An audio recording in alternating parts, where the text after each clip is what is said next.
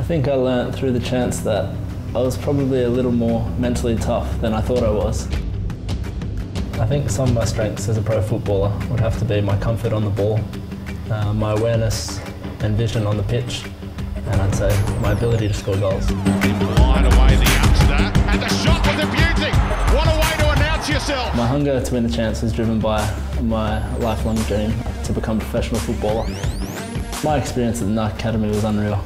It lived up to every expectation that I had. Some of the things I would have done there, I guess I would never, never ever do again in my life.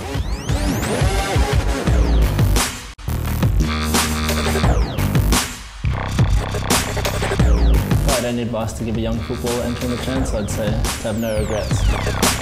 There were times through the chance that it was very difficult, but you have to stay strong, keep believing, and and positive things will happen.